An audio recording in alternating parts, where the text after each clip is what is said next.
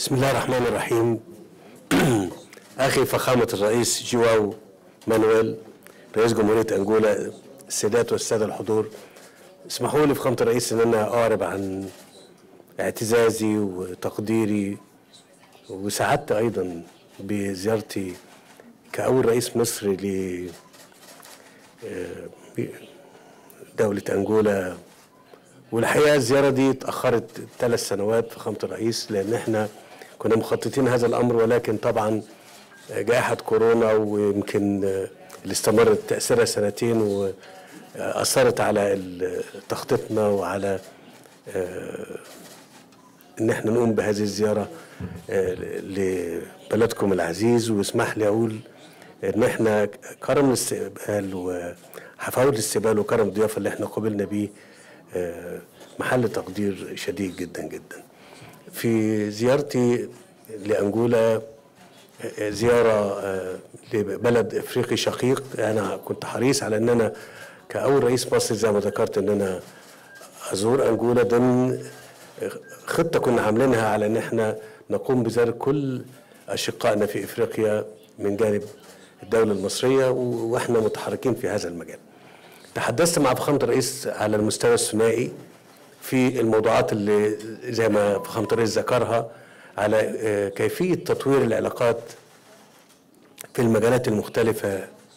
بين البلدين. وتحدثنا أيضا عن تبادل الخبرات والتعاون في المجالات المختلفة ومنها زي ما ذكر هو كيفية تطوير التعاون في المجال التجاري والمجال الاقتصادي ومجال الثقافة والسياحة وأيضا حتى المجالات الأمنية ومكافحة الإرهاب.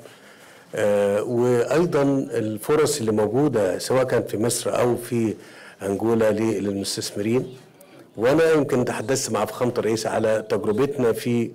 إنشاء المدن وان إحنا لدينا أكثر من 5000 شركة مصرية تعمل في كل المجالات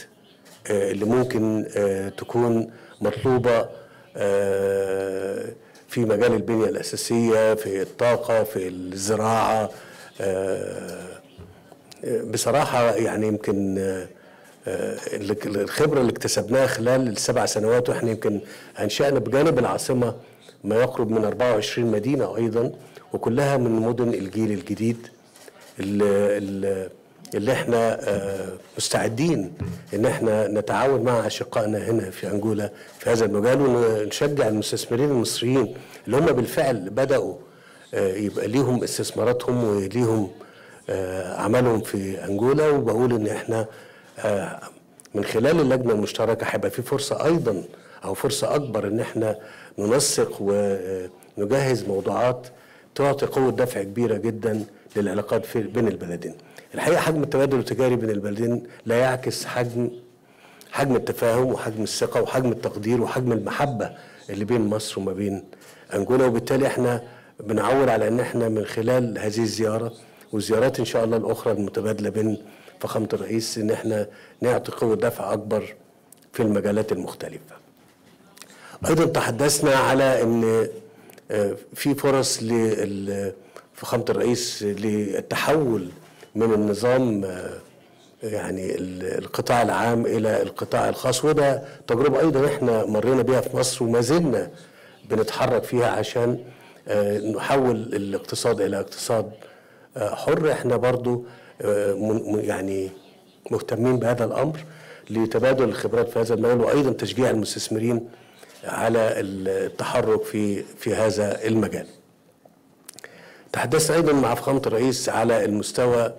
ال ال يعني الدولي والقاري على سبيل المثال والقضايا اللي بتشغل منطقتنا وقارتنا الأفريقية وأهمية استعادة الاستقرار واستعادة السلام في الدول التي تعاني زي ما ذكر فخامة الرئيس وزي ما بنأكد هنا سواء كان في يعني دول زي الصومال أو الكونغو أو دول الساحل والصحراء وليبيا ويمكن أخيرا السودان. واتفقنا على أن أهمية إن إحنا مهم جدا جدا إن إحنا نبذل كل الجهد ونسع جهودنا من أجل استعادة الاستقرار. وأيضا إعطاء رسالة لهذه الدول وإحنا هنا بنتكلم على السودان تحديدا لأن ده آخر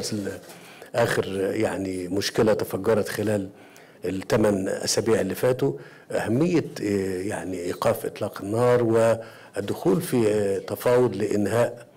هذا الصراع اللي إحنا بنقول في مصر يمكن خلال ال- يعني الكام أسبوع دول إحنا بنتكلم في 200 ألف دلوقتي مش كده؟ 200 ألف أكتر من 200 ألف من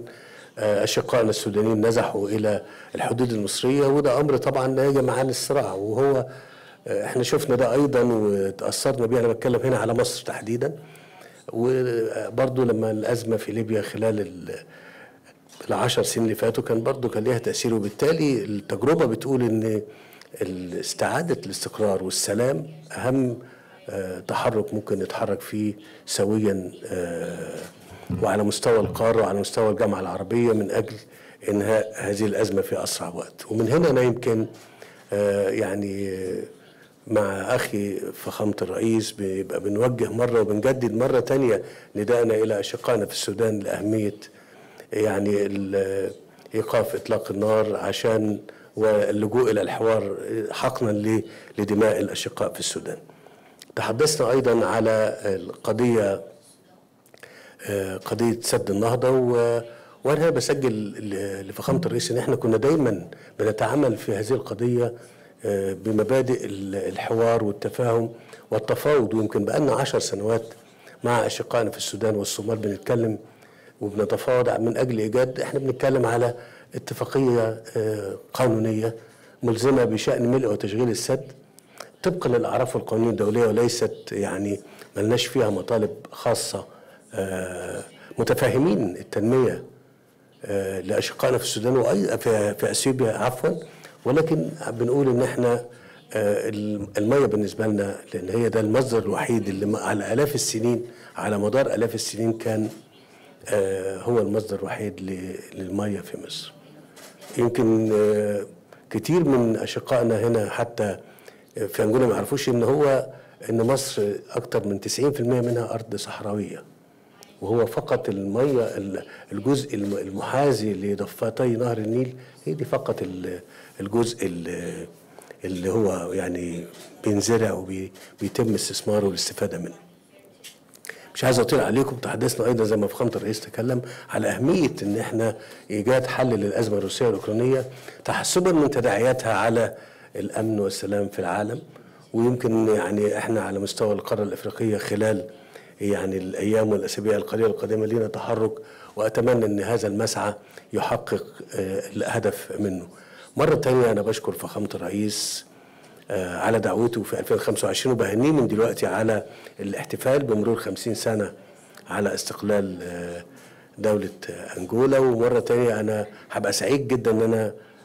ألتقي وأستقبل فخامة الرئيس في مصر حتى نستطيع أن نقدم يعني جزء يسير من حفاوة الاستقبال وكرم الضيافة اللي احنا قبلنا بيه شكرا جزيلا